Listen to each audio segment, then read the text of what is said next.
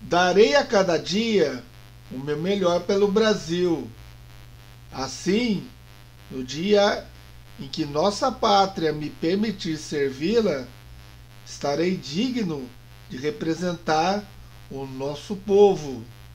A hora de fazer é agora. Dom Rafael de Orleans e Bragança, Príncipe Imperial do Brasil, quarto na linha sucessória ao trono brasileiro.